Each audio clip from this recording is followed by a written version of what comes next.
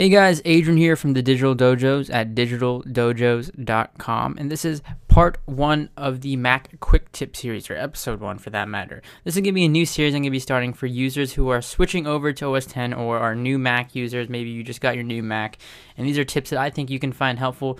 I previously used to be a Windows user a couple years ago, switched over to OS 10, and there's still tips I find out every day of new keyboard shortcuts, new commands, new useful things that really help me out, and I think that can help out new and existing users of OS 10.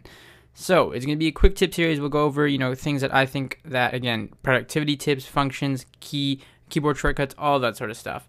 Today we're going to be taking a look at the menu bar and how you can clean up your menu bar and kind of customize it and remove certain things that you think are unneeded in your menu bar. Now, this is primarily for system functions. So, for example, if you've ever had you a menu bar up here and you have a couple stuff uh, cluttering up uh, your desktop or your menu bar, especially if you're on something like a MacBook or MacBook Pro and you don't have a lot of space up there, you can actually hold the Command key and then drag any sort of icon that you don't want. So, for example, this is the AirPlay uh, mirroring icon. Let's say you don't want the AirPlay icon up there, you just hold Command, drag, and let go, and it deletes it off of your menu bar. The same goes for things like Bluetooth, volume, even the date and time. You can easily just remove these things by dragging out and letting go. So if you don't use any of these certain things up here, you can drag them away.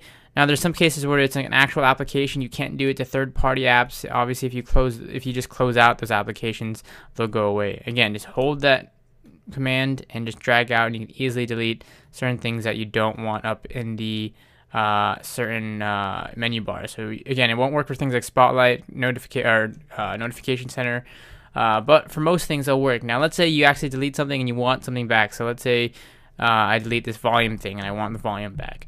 Well, you go over your system preferences, find what you deleted. So in this case, I deleted the volume icon. I click sound, and then there's a button right here at the bottom, and this applies for stuff like Bluetooth, date and time, etc. That says show volume in menu bar.